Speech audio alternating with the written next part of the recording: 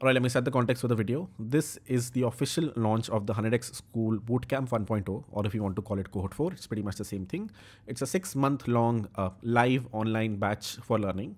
Four technologies that's web dev plus DevOps as the first technology, AIML, Web3, and DSA. You can pick and choose which one of these technologies makes sense for you uh, and which ones you would like to learn over the next six months. The learning framework, before we kick things off, 90% of the learning happens in 10% of the topics. And I'm going to go through slightly detailed syllabus, but primarily focus on the 10% of the topics. Um, what would lead to you know a more higher paying job or what would you know showcase the skills of a senior engineer? Um, what are the difficult bits to focus on that are you know hard to learn um, and hard to fake during an interview? There's a more detailed roadmap of this complete syllabus available in a video. You can go to this video uh, it'll probably be linked in the description to understand the exact syllabus that's being learned in you know these four technologies kick things off with web dev. Simplest technology out there i think it's like table stakes to know this right now. Um, there are many stacks you can learn this in. You can learn this using python and fast api you can learn this using rust and actix web. We'll focus on the MERN stack which is you know mongodb express react and node.js um, again, fairly simple stuff. I think a lot of you might already know this. Um, the ones that don't, here is a decentish syllabus. Um, and here are the difficult topics to focus on. I think the things that are going to make you chew a lot of glass is going to be the architecture of JavaScript and understanding what async JavaScript is, what are asynchronous languages slash systems, how are they different from, you know, concurrent languages. Um, some more high level protocols like WebRTC and WebSockets um, and uh, queues and pub subs, basically advanced backend communication. Um, in terms of the projects, I think if you build a trading app, um, this is one of our benchmark apps at Super 30, which is the first app that people built in Super 31. People built a Probo, which is sort of close to a trading app in Super 32. People build Exness, um, and we'll build some variation of this, um, you know, in this cohort as well. Um, this is a good app to test someone's backend. Um, you either need to be really good at backends or you need to be really good at frontends. Um, there's probably a better path to choose if you're looking for a job compared to you know being decent at both of them. A very good front end engineer, a very good back end engineer is probably better than a decent full stack engineer. So based on that, you know, pick and choose which one of these technologies makes sense for you. High level, this is the syllabus. If you wanted more detailed roadmap, go to this video and you'll you know find the web dev syllabus covered in more detail over there. For DevOps, um, DevOps is basically deploying your full stack applications. Not very difficult today. Again, I think uh, clouds make this very easy to do. Um, so I think the only difficult bit is you know just doing this once, and once you do it once, uh, from there it's very easy to deploy applications. Depending on the scale, you might have to learn more and more things um, as you scale up. Um, you might have to understand how you scale up backends, how do you add observability, monitoring to your uh, backends, if it makes sense for you to use container runtimes, um, should you deploy on a, on a Kubernetes cluster or not?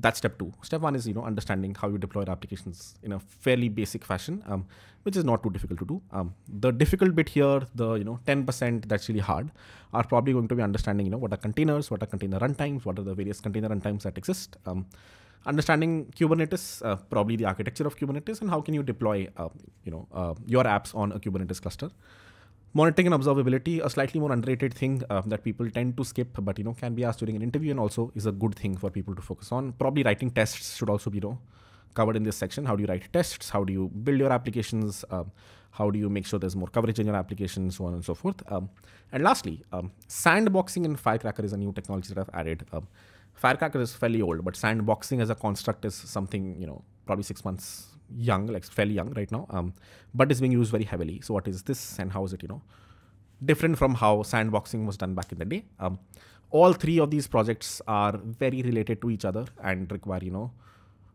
a decent bunch of DevOps. Uh, you can decide the depth of DevOps you want to go in here. Um, you can actually go, you know, fairly deep in trying to build these systems from scratch. Um, so that's what we'll do, and that's I think the the 10% of the DevOps syllabus. Web3, um, we're primarily going to focus on Solana. We might touch a bunch of other um, blockchains like Hyperliquid, basically a bunch of DeFi uh, or perps blockchains that are coming out right now. Uh, when we reach the perps sections, but before that, we'll focus on Solana as an L1, um, the Solana runtime, a bunch of cryptography constructs. You can actually go very deep over here. We'll see how deep we go. The top 10% would probably be understanding the data model of Solana. Uh, that's like really tough. And you know, the very first hurdle that you'll see over here, once you do, uh, then building a bunch of, you know, contracts, programs on top of it. Um, the popular ones are going to be these, or the difficult ones are going to be a DLMM, a CLMM, a PERPS uh, exchange. Um, Rust advances again an interesting sort of a thing. We'll see how deep we go over here. Uh, there's some Rust you need for Solana. There's more Rust that you need for general Web 2 systems. We'll see how deep you want to go. Um, but again, this is where you'll have to choose some glass. Um, lastly, a bunch of things that you're not generally expected to do as an engineer, unless you're working, you know, um, in a specific company that does this. For example, not a lot of companies do indexing in house, but if you do in work in a company that does do it, um, they need to know this. Similarly, uh, not a lot of companies do private key management. Uh, most of them depend on something like Privy.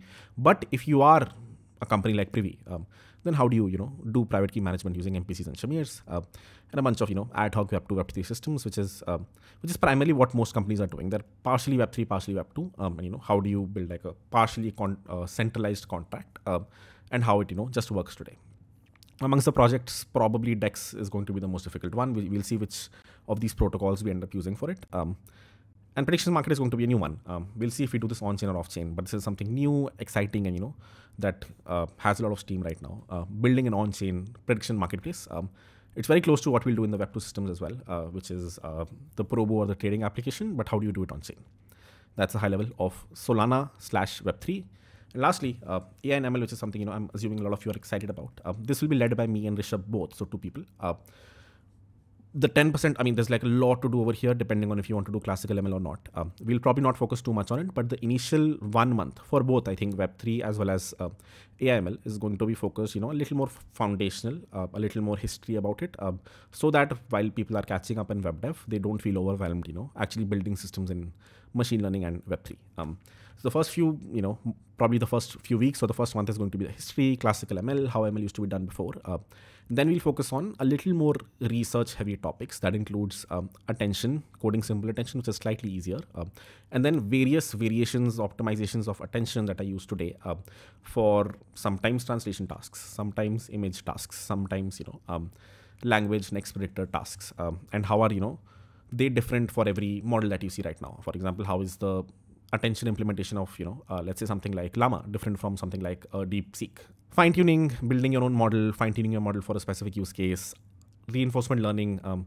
RLHF, uh, or fine tuning using re- reinforcement learning, um, writing your own evals and a bunch of advanced topics. Basically, the 10% over here is probably a bloated 50%. Um, depending on if you want to go to the research side, that means if you want to be, you know, a research engineer, which is really hard to do as a young engineer. Even Rishabh, who will be instructing this, uh, is sort of struggling with this, you know, even though he's really good at research, because you are young and you don't have a PhD, uh, gets slightly harder. You know, you probably get rejected upfront from, you know, 50, 60, 70% of the companies if you're not in the US or if you're not in research, um, which is where the other side comes in, which is uh, applied AI.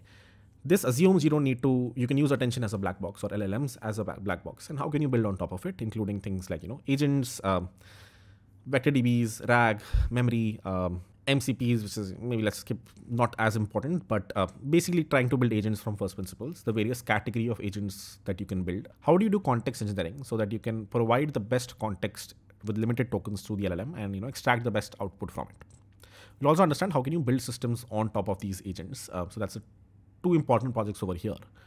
RL fine tuning plus writing evals is probably a more research specific uh, project. How can you build, let's say, a Rust specific model that's really good, and how can you show it's better than you know a specific version of Llama, DeepSeek, uh, ChatGPT?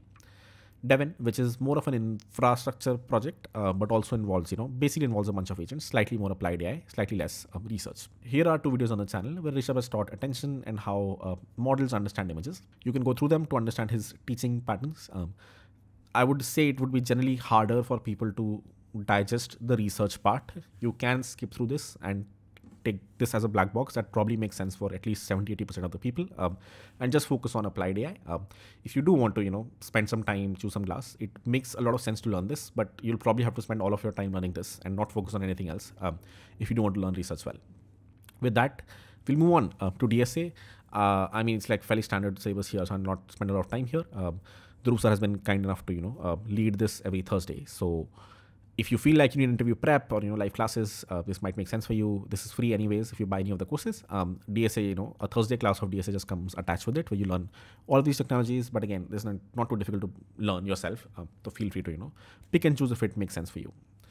The schedule is going to look like this. Uh, Thursday we'll have so basically have four live classes every week. Thursday the DSA class led by Dhruv sir. Um, Friday I'll take Web Dev DevOps, the simpler bits. Uh, Saturday I'll take Web three. We'll go slow initially um, and then you know by the time web dev has reached a decentish pace so like a month um, is when we'll start to actually write code here initially it'll be a bunch of you know history of the runtime solana l1 l2s bitcoin things like these um, And Sunday AIML, again, the first month fairly uh, hopefully simpler, warming up, classical ML, the history of AI, and then eventually um, after a month actually diving deeper into attention and then um, applied ML.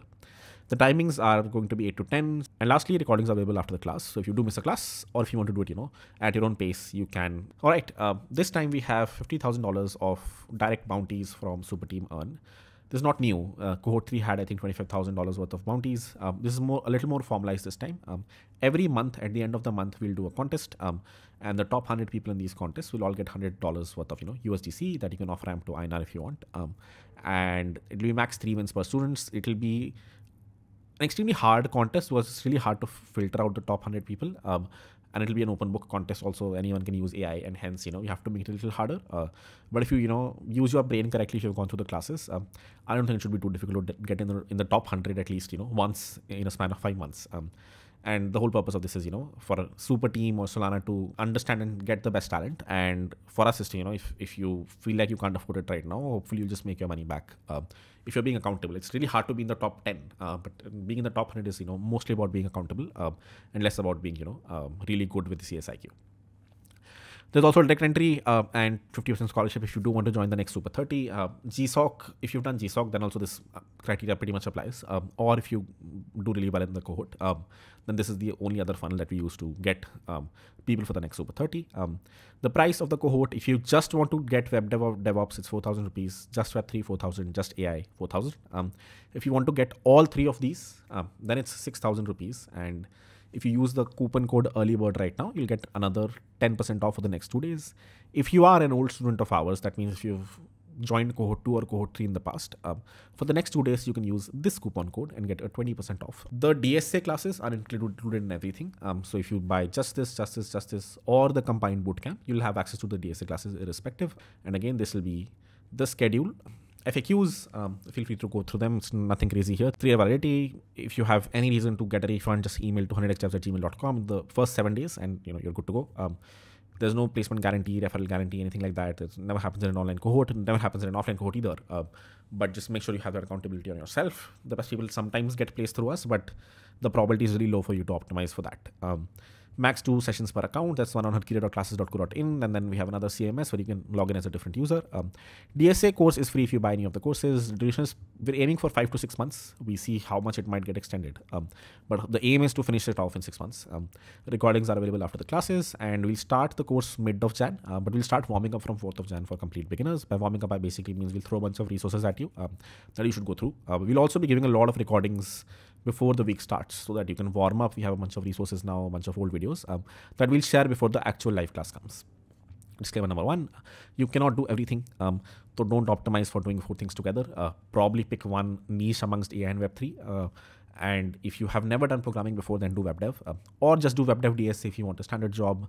Pick and choose. Uh, but no one can do, I think, all four things together. Um, and if you're specifically picking deeper things or difficult things like AI and Web3, uh, it just makes sense to you know stick to one for now um, and not get you know average at both of them. Try to get slightly better at one you don't need a course is the disclaimer number two you can always learn these things yourself uh, the resources the syllabus is all out there. Uh, I've shared it in more detail uh, in another video, so feel free to go through it and you know learn all these things yourself. Um, do not spend money that you can't, you know, uh, you don't have, or you know, don't take a loan or anything like that. Just if you can buy it, buy it. If not, that's fine. Um, and you know, you can always learn these things from various resources yourself. Uh, that's all I had for this video. Hopefully, the price isn't too much uh, for a six-month course, and you know, depending on what phase of life you're in. Um, pick and choose if you want to buy um, and you know aim for getting the Superteam grant in case you do buy and you can't afford it right now. Just try to be as accountable as possible perform well and you know you'll probably make your money back uh, either through the grant or hopefully uh, through an actual entry level or a more senior level job. With that let's call it. Uh, i see a few of you in the cohort and rest on youtube.